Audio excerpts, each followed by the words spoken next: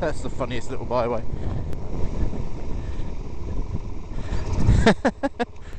Still, it's there, it's a byway, it's legal. Which way's home then?